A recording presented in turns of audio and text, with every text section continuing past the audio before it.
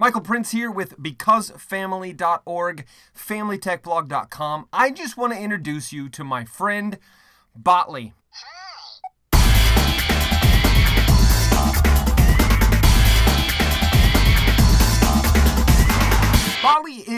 Coding robot. He's built to help kids learn how to program and code. Basically, to teach the basic coding logic that's necessary to understand how coding works. And so, Botley, here he is. He's adorable, first of all. Really good looking little robot.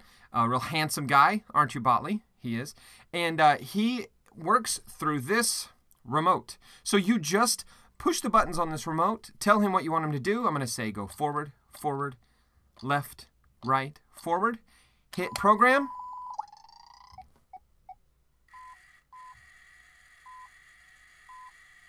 So he runs through the programming that you've done. And he said, "Wee!"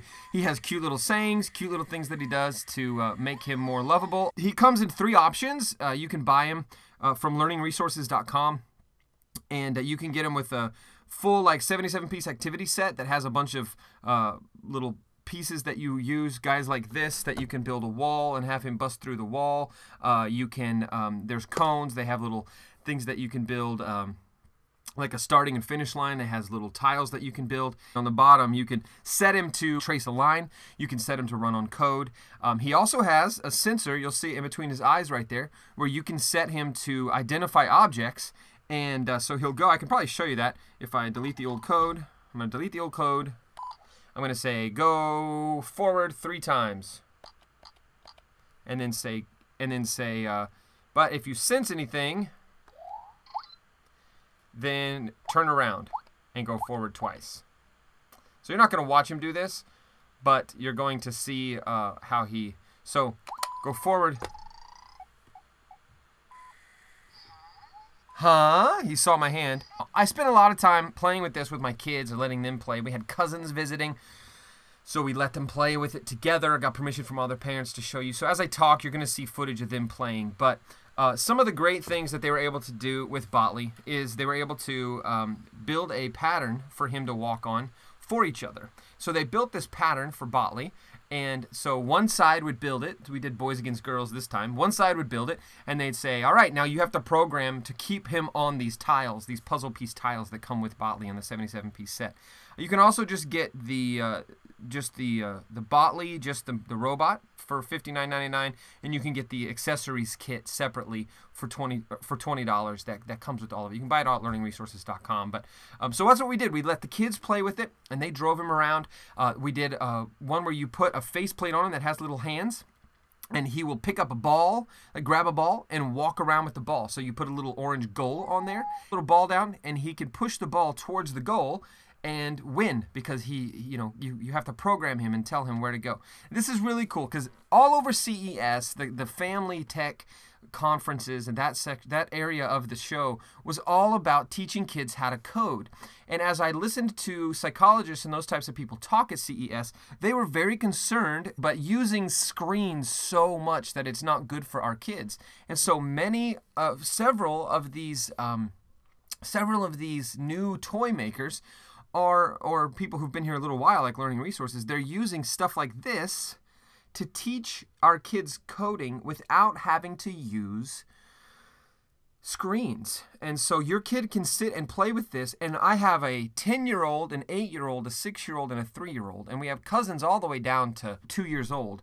And they all enjoyed playing around with Botley. Uh, you know, it's rated for 5 plus, and I think it's mostly because they can understand what they're doing once they reach about five years old. But my my three year old son, he, he could figure out, okay, push forward three times and he's going to go forward a ways. Push backwards and he'll back up. And so they're able to play it. And it's sturdy. The batteries screw in, so it's not like something that's going to just fall out real easy if they drop it uh, on the carpet or something. I really have no complaints about Botley. He's very fun. He just sneezed, see? So he does those cute little things that make your kids go, I love Botley. Come on, Botley. They root for him. My daughter was like, we need to name him. And I said, he has a name. His name's Botley.